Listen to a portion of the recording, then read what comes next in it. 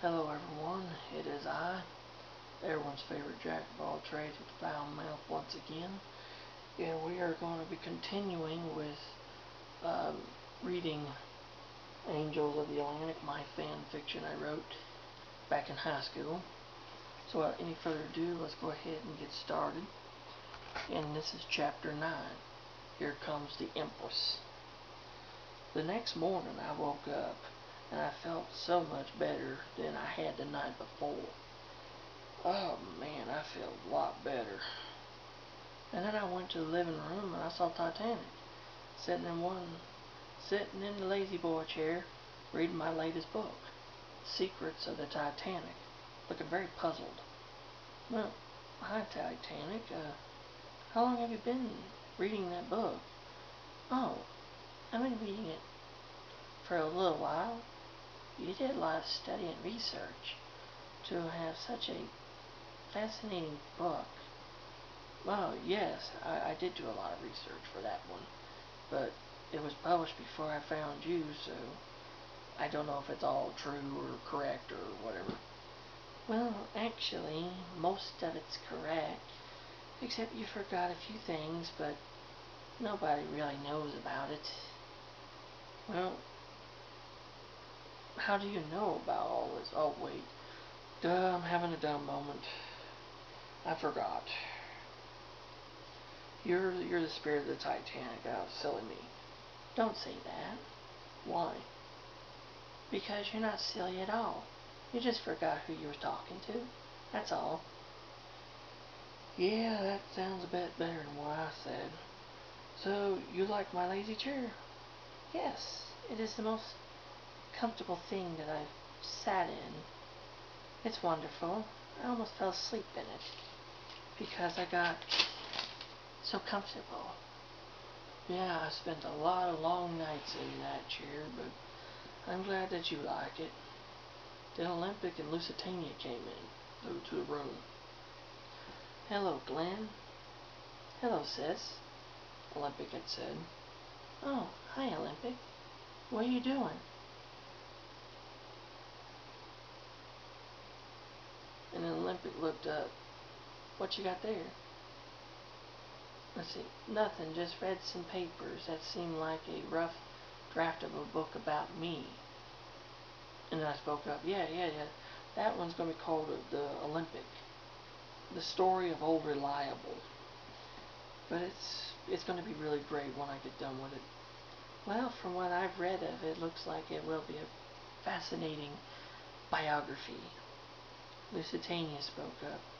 I also saw some drawings that looked like me in my original Cunard livery. Yes, I, I actually did draw those. Uh, you did? Really? Yes, I did. I did those not too long ago. It didn't take me too long to do them either.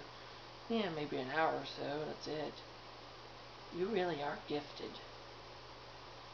Yes, you are a very talented young man. You have great skill at drawing and writing, Olympic continued. Well, thank you, ma'am. It really helps a lot. Olympic smiles. Then Lusitania asked me something. So what are you planning on doing today, Glenn? Well, I don't know, Lusitania. But I'm going to have to talk to another friend of mine about a few about a few things. You are? Yes, I'm going to go and see him for a little bit, but you know, I gotta leave soon, so I've gotta get going. Is that alright with you ladies? Titanic still was in the book. Titanic, were you, were you listening? Oh, what is it, Olympic? Glenn says he's got plans to go and to look for our sister Britannic. Oh, he is? Well, I hope I get to see her soon. You will, Titanic. You will. And then I interrupted. Well, I'll be back soon. And so I head out the house and shut the door. And I went over to my friend. I went over to my friend uh, Alan's house. And I got there and he was expecting me. Glenn, long time no see. Come on in, come on in. Look at what I got for you. You have something for me? Yeah, man, it came all the way from the bottom of the St. Lawrence River in Canada. What is it, Alan? Come on in and take a look. I walked inside, and on the table was a UPS box that had been opened as he reached inside, and he grabbed a little black box and handed it to me. It said on the box, SS Empress of Ireland, and it had a drawing of the ship on top. And then I opened up the box, and inside was a steel rivet that was cleaned up and shined. What is this? It's a rivet from the Empress of Ireland, from the bottom of the St. Lawrence. What do you think about it? You like it? Yes, I do. And this is amazing. Thank you, Alan. It's no problem, Glenn, no problem. I looked at it again and it had a real faint glow to it. So, Alan, when are we going to be making the dives to the Britannic? Well, Glenn, we will go in a week or so. And I've also already got the crew already rounded up to help us with the expedition to the Britannic. You know that. Yeah, but wow. That's amazing. Well, thank thank you for the gift and for letting me come along with you on the expedition. It's no problem, Glenn. I'm glad to do it for you. We need to hang out more often. Well, I, I need to get going. I've got a few other errands to do, so I'll, I'll, I'll catch you later. Well, I don't want to keep you from it, so I'll, I'll see you in a few weeks. How's that, Glenn? I will see you in a few weeks then, uh, Alan. All right, Glenn, you take care, buddy. Well, thanks. Then I shut the door and I got into my car and I drove off. Meanwhile, back at the old warehouse, Victor and Red were shocked by the fact that they had their asses kicked by the so-called shitbag. Now he's really pushed me over the damn limit. But boss, we can't even touch him. He's like another Chuck Norris or something. I know. I got another plan. And this time it's foolproof. Victor and Red start to laugh. Meanwhile, back at Glenn's house, Titanic was still reading the book that Glenn had wrote when Olympic came up to her. How far are you now into that, sis? Far. Then Olympic looked. You ain't even reading it. You're just staring at Glenn's picture. You did you did that the whole time, did you? No, I have read some of it, but when I saw his picture, I couldn't stop staring. Olympic, sis, can I ask you a question? Yeah, sure. What is it? Well, don't laugh, but every time I'm around Glenn, I get this weird, fluttery feeling like butterflies in my stomach and I'm nervous when I speak to him. I don't know what's wrong with me. Do you know, Olympic? Olympic smiles and laughs. Oh, sis, yes I do, and there is nothing wrong with you. The feeling that you're that you have is called love. Love? Yes, love. Every time you're around him, does your heart skip a beat or two? It does. Why, sis? Because that is love, Titanic. You love Glenn, don't you? It's not a bad thing at all. It's not? No, sis, it isn't. But before I sank, I never had this feeling. But now I have it. Why? Well, it's because you were never given the chance to love anyone. Now you have the chance that you did not have. But should I tell him that I love him? Or would he shy away from me? I, I don't know. I'm, I'm so confused. Sis, the only way you sure you want to tell him is when your heart says it's the time. And when the time comes, you will know it. Thanks, Olympic. I can't believe my baby sis isn't got a crush. Titanic blushes.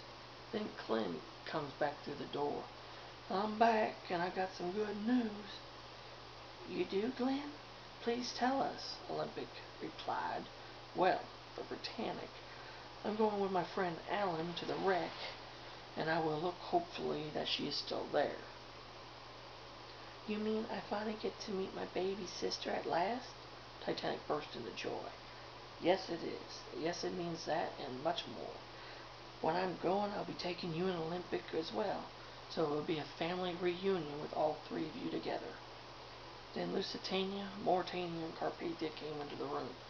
What's going on? Lusitania asked.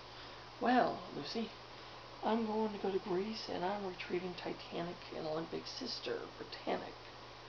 So Britannic will be here soon? Mauretania asked. Yes, Britannic is coming. Carpathia had asked as well. Yes, um, in a couple of weeks, and I've got more good news. Glenn shows the rivet from the Empress of Ireland. What's so special about that? Carpathia blurted. Watch and see. Rubs it and lays it down on the ground. Now stand back, ladies, Glenn says, and the rivet starts shaking and glowing real bright gold, and gold dust starts to go around in circular motion. Oh. Okay, yeah, go around in circular motion. Until it disappeared. What was left was a young woman in a fancy design dress, white that which ran a bold stripe from one shoulder down up to the other, and it was black and another stripe at the waist down. The dress was black from the waist on down and had yellow dots on it representing portholes, and at the base of the dress was another white stripe, and down was red. She had dark blonde hair with black highlights at the ends. She also had ornamental leaves, three on each side of her head, and white gloves that went up to the upper arm. Her necklace read Empress of Ireland in Canadian Pacific lines, and had a Canadian Pacific flag with three-leaf clover in the center of it. The other liners were speechless. I went up to her and I introduced myself. Hello, my name is Glenn Barker, and I'm a liner historian. Would you be the my the legendary Empress of Ireland? That's when she spoke. Yes, that's who I am. My name's Empress of Ireland. It's nice to meet you, Mr. Glenn. I'd like you to meet the other liners. Olympic, Titanic, Lusitania, Mauretania, Carpathia. Wow. Hello, fellow ladies. It is an honor to be amongst uh, the queens of the Atlantic. Excuse me, Miss Empress, but you don't have to say that. But it's an honor. Then I came to the conversation.